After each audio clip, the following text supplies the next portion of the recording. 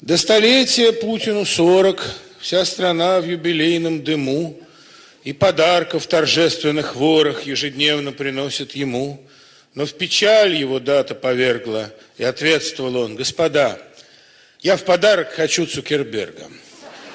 Я хочу Цукерберга сюда. Говорят, он почти шизофреник, так решило друзей большинство. Но добыл же он множество денег, не умея, как я, ничего. Я пошу тут себя не жалею, репутации, блин, не ценя.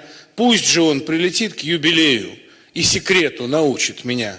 И разведка ответила бегло, мы умеем такие дела, и достала ему Цукерберга, и в увязанном виде сдала. И сказал ему Путин, товарищ, обращаюсь буквально моля, может, ты мне решение подаришь, как мне сделать бабло из нуля? Не хватает монеты бюджету. В феврале, как случился аврал, обещал повышение, а нету. Я уже и на Диму орал.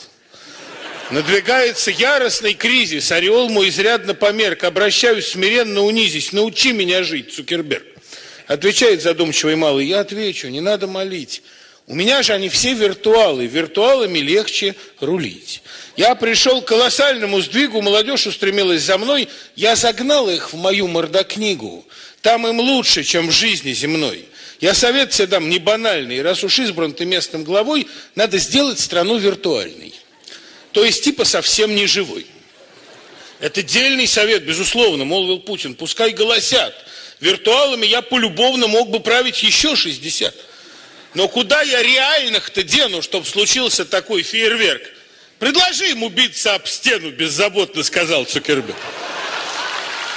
Это, правда, отчасти жестоко, молвил Путин. Пока дорастут, но к концу президентского срока никого не останется тут. Как придем мы к желанному раю, так и вытащим нашу боржу Цукерберг. Я тебя поздравляю. Разреши я тебя зафренжу.